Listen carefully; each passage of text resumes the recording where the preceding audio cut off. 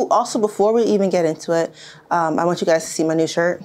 Okay, logo. It's from Fonts Animal Plant House. Oh, let me just. This is the front, and then the back. Hopefully, you guys can see. Antisocial Plant Club. Super cute. I'll post down below the link to their merch. They just came out with some merch, some shirts, and a hoodie that I have. I bought two shirts and a hoodie. Really good quality. I really do highly recommend them.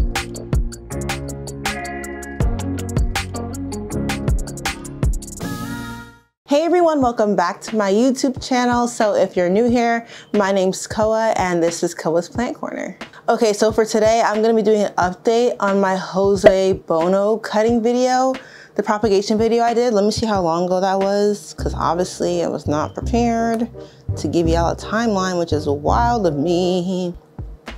That Jose Buono video was approximately, it was a month ago.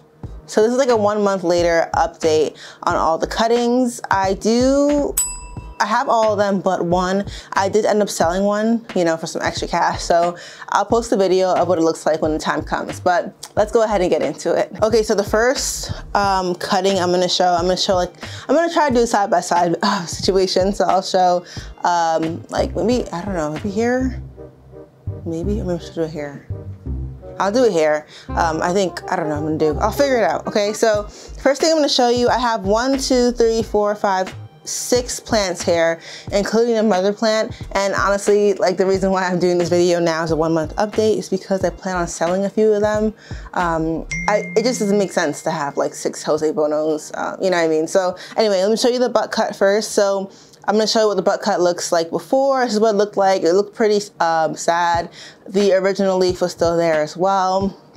Um, trying to look. Oh, it's in the same cup that I got it in like three years ago. That's really what it's looking like right now. So it was a four leafer and one of the leaves looked like it got like bitten. Someone bit bit it or whatever. Um, so yeah, that's what it looks looks like then. But this is what it looks like now. It actually filled out a lot. Hopefully you guys are seeing the whole plant here. Um, the newest leaf is right up here in the center here. Where are you? There you are. It hasn't finished unfurling yet, but this whole specimen so far has been like a lot of um, like marbly speckling variegation looking like. Um, I haven't, I don't have any sectoral yet. I mean, the first, like the pseudo leaf, I think it's called, the first pseudo leaf did have some um, variegation on it, but it came out really wonky, of course, because probably my lack of watering, honestly. Um, but the original prop leaf that all these Jose's came from is starting to die out a little bit. It's really yellowing. It actually started to do this um, when it was pushing out the new growth in this plant. So currently I have one, two, I have two plants in here growing and I do want to separate it. I don't know if you can see like the medium is like just moss and like some soil.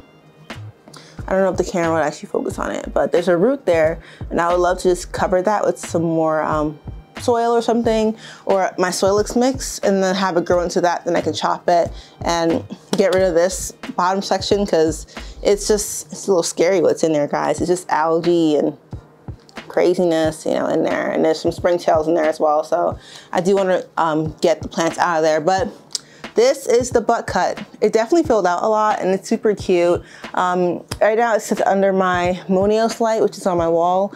I'll post a picture of my, um, I call it like a, like a ghetto DIY situation that I have, that I have in my room there. But this sits underneath it, maybe like two feet away from it, two feet and a half uh, feet away from it. And it's been growing well. Here's some new growth actually from the newer plants. Can you see the little, the white roots? Those are all um, newer growth, newer root growth, which is really cool. So Plant number one is that butt cut. Okay, so the second plant is actually the plant that I went ahead and sold off. I have a video of what it looks like here. Um, that's actually the video that I used to sell on Instagram, so someone bought it.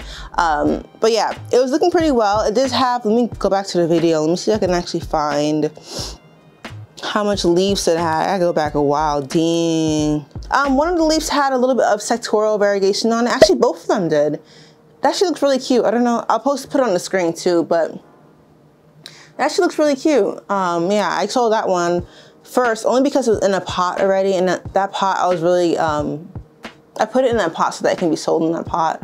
I know a lot of people like to see the root growth and the medium, all that stuff. Um, but this one was cute too. Yeah, this is actually the cutting that I was planning on selling um, at the New Jersey plant sale event that was back in June, June 10th-ish, I think, or June 12th.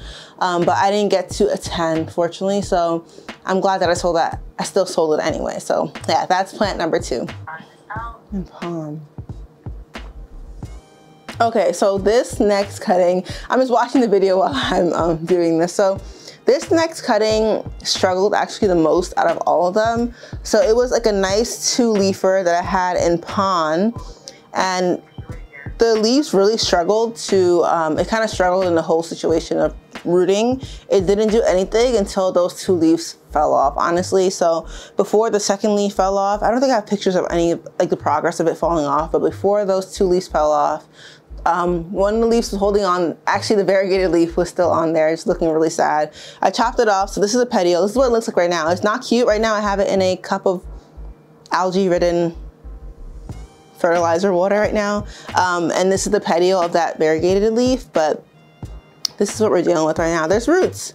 There is new growth, which is great. There is also like a lot of like black gunk on it and it's not super, it's a little soft anyway, yeah. So I do have to do some cleaning up of this um, plant. Uh, you can see that the new growth kind of happened in between where the petiole meets the stem. Right there, that's where the node was, where the new growth point was. So it is looking pretty ugly. I'm not gonna lie to you. I'm not gonna lie, it's ugly right now. I do have to do some cleaning, but um, at least it's alive. I call this a success, especially when it comes to philodendrons. This is probably like, you know, the best worst case scenario. So there's roots on it. I do have faith that it's gonna grow more. The leaves are cute too. You can see there's some variegation on this leaf here. Super cute. This one has a little sectoral as well. So I don't know if you can see, yeah, you can see that.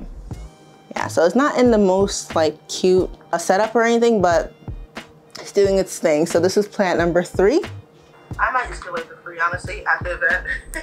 I did have a one leaf cutting that, um, yeah, it was like really small. There was like barely any roots on it. I think there was like one root on it. It was really small, if I can recall. And I went ahead and put it in one of these one of these containers, it was growing in, it was fine. I actually had it under super bright light. It was under my two Barrina T5s, so it was very close, like top, this is the light, this is the plant. Um, so that leaf fell off, but it, it then it became like a node, like literally just like a node.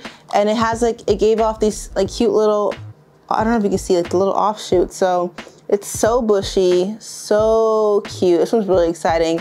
I'm trying to look for roots so that I can go ahead and separate them. Maybe they're just too baby. They're just too small. I see a ton. Oh, there are some roots in it. Cute. I see a lot of springtail on it. I'm not a fan of the bugs, but you know, they're doing their thing. Um, variegation wise, it's cute like marble. Like it's like a marble variegation. Hopefully you guys can see without it showing up my face, but super cute. Let me show you this leaf here. Very cute. So it's like really full. It's still growing under um, the two Barrina T5s.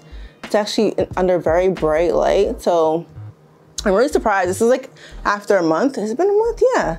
About a month and some, maybe a few weeks because I posted that video a few weeks after I actually did the chopping. So it's like a month and a half, you know, update, which is not bad. So I have this little baby here. It's like different offshoots. I do want to separate it and just have more Jose Buonos, but stop it. I need to stop it. We don't have the space for it. We can't, no. That's plant number four. Ooh, the minty one. Let's talk about it. So this, the minty one, this is the one that I was really excited about. The reason why I separated this cutting and the next one, the two, um, like the ones with more variegation on it, I wanted to see, I was curious if it would continue um, throughout the, the other leaves and if I would just keep getting highly variegated leaves. So um, these were the ones that were in soil mix and now I was really worried about these only because um, I guess they just took the cutting pretty hard in the beginning. They started to wilt a lot. Some of them started to um, just get like really dry looking. You can see the veins. Just it was getting really dehydrated, obviously.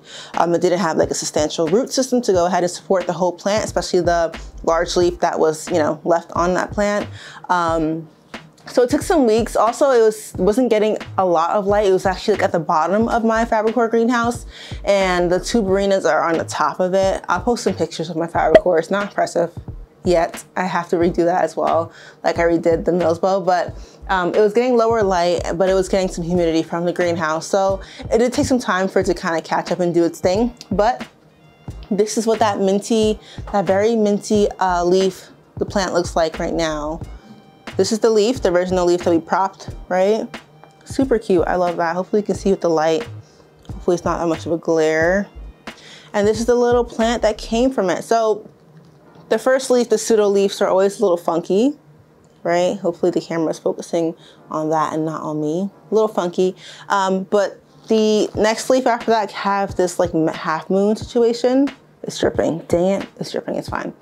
Super cute, right? Leaf after that, very marbly. So um, I don't know if it's just with all Jose's or just, just mine, but um, the, the, speckling is still very cute. I do love this variegation. I was hoping for a lot more white on it. So I do want to give this one a little bit more of a chance to grow. Um, I just want to see if I'll get any more variegation from the plant as it gets bigger. Or maybe this is probably the most I'm gonna get because this is like, wasn't like a, just like a little bit of minty situation and a little bit of sectoral on the sides there. And then as well on the margin section there.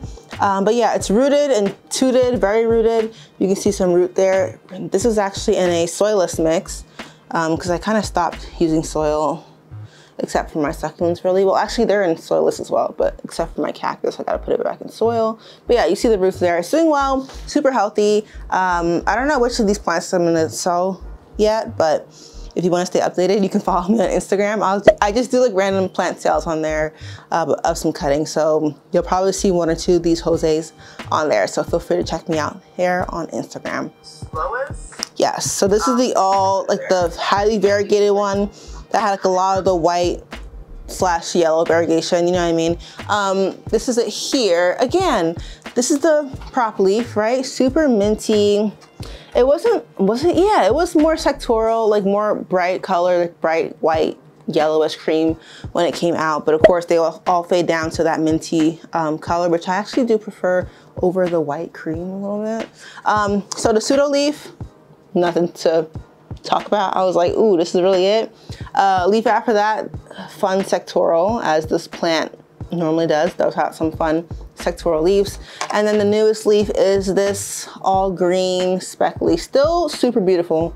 Um, yeah, this is, yeah, still pretty. So this one is doing well as well. I did just water these. That's why they're all like super wet and kind of um, doing the most right now. There are roots on here. They're super small. Yeah, I'm gonna show you at least one root that I see. At least, yeah, this one right there yeah, so this one's rooting, still doing fine. Um, this original prop leaf just looks kind of like dehydrated and sad. Um, it could be because it just, I don't know, just the way it looks. I don't know if you can even tell. Um, I don't know if the camera would pick it up, but it's a little like soft and like as if it's not getting enough water. Um, but the plant is, I just watered it. Maybe that's why. So it needs some time to perk up. But this is the last propagation super cute. Um, so they were all an, a success. Um, it's still a little bit early to say about the water prop, but I do have faith that it's gonna be fine. I do plan on putting it in pon so I can have at least one cutting in pon because that was the main uh, goal. That's one of my goals in this whole propagation situation. I wanted to have one in pon and grow one in semi-hydro just to see how it works, all that stuff. Um, but lastly, I'm gonna show you the top cut. Let me see how it was looking before. Yeah. Okay. Now the top cut, to me, did the best. Um, of course, it had more roots than the other um, propagations as well, but to me, just just the most success in general. So um, these are the original, I don't know if I can show you, the original leaves to the bottom here. I think this one as well. I think when I was talking in that video, maybe this one was the one that was emerging out, was it? Or I think it was maybe this one, I don't remember. Um, but yeah, these, since that video, it's pushed out three new leaves. I don't know if my camera's even focusing on it because it chooses to focus on uh, my planter in the back, but three new leaves. This one First it was, wait, first it was this one. They're pretty dusty because I don't clean my leaves like I should. I did get this little brown spot and I was like, what is that? This one had another brown spot. I'm like, what the heck is that, right? And this one doesn't have a brown spot. So just like a random thing that I just found out while I was um, growing this plant out. I started to miss some plants, some philodendrons around this one, the ones that had emergent leaves, and I think some water may have settled on it. So it kind of did this weird brown situation. The water just sat on the leaf like that. So it did cause some browning. And this leaf here, the new one, I was really careful to not spray it. So that's why it doesn't have the brown on it. And by this size, it would have, the brown spot already showed up on the other two leaves. So this one's this is cute, right? So it's still sitting in my ambient humidity. It's directly under my Soltech Solutions light. It's about five feet away from it. Um, but it's also, I potted it up in no drainage, um, which is really my preferred um, potting situation when it comes to philodendrons because if they're in drainage, I do tend to kill it for some reason. Not for some reason, I kill it because I overwater them. Um, but the no drainage really helps me because I can see how wet the soil is through the glass and I can see if the reservoir is dry or not and if I have to refill it and all that stuff. So it really just works for me. Um, but this is what the roots are looking like. I love seeing philodendron or even anthurium roots in no drainage. Like so cool. And anthurium roots and no drainage is a lot more satisfying because they're like ramen noodles or like udon noodles. udon. Wait, udon noodles. Oh my gosh. Udon noodles. Udon noodles. Anyway, they're like ramen noodles. so uh, this is what it looks like. I have a picture I posted on Instagram. I was just really happy about it. You can even see like the um, secondary roots on there too. I love the glass vessels and I have a few. All my philodendrons here that are under my Soltech solution. I'll do a tour soon so that you guys can see what I'm talking about, but I'll post, I'll post a picture of the whole setup really quick. Um, they're all in no drainage except my two Monsteras, actually, except my three Monsteras, which I'm gonna be um, potting them up in no drainage because they're just really thirsty and no one told me that. Monsteras are so thirsty. So anyway, Jose Buono, this is the top cut that I definitely will be keeping. She's super cute and I'm happy that she's doing well in her little situation. So now I have a little farm of Jose Buono, which is cool. If you're trying to get into a super easy philodendron, like an easy care philodendron, I do recommend the Jose Buono. And I do want to put like a little video out there, some easy care philodendrons, because for me, who can, someone who can keep anthuriums alive, philodendrons do seem to be a little difficult for me. So I'll do a little, um, a little video if you guys even care about it. Uh, for really easy care, philodendrons and the Jose Buono is definitely one of them. I know a lot of people don't like it as much. You don't see them around as much, um, but I think the way that you grow them really, it just changes the way it looks, right? So a lot of people will grow up moss poles and I don't like the look of them because they start to grow a little bit leggier sometimes like the petioles will be all the way up out here or uh, they start to just grow one direction. I do like it when they're a little bit, little bit more bushier, so I don't have a moss pole on mine. Maybe just because it has higher light, the internodal spacing is a lot closer, um, which I really love. It's kind of like looking a lot, like a little bushier, you know what I mean? And obviously because, obviously because the light is um, facing downward, it's, all the leaves are facing upward like that. So anyway, but yeah, I like the way this grows. I don't think I'll ever put one on a moss pole. I do know that my plant would have definitely grown faster and larger if I had done that, even, especially if it was in the greenhouse, because it has um, like ideal temperature and like ideal light, lighting and all that stuff.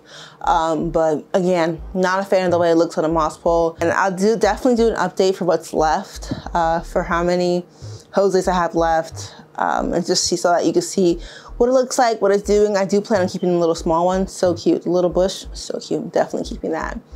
Anyway, thank you all so much for watching. I don't know if this is a short video. It's supposed to be a short video, but it probably isn't because I can talk and talk and talk and talk. But thank you guys so much for watching. Feel free to comment down below which cutting is probably your favorite. For me, my favorite cutting, okay, can we do besides the top cut? Because obviously the top cut is my favorite. But besides the top cut, honestly, I'm gonna have to say this is my favorite, the little bush of Jose Buono. Super cute. It reminds me of like the TC Jose Buonos that you see um, or that you saw around like a few months ago. A lot of them are growing out now at that different stores are selling, but um, super cute. Definitely my favorite. So anyway, thank you all so much for watching. Don't forget to like and subscribe, and I'll catch you guys in the next one. Bye.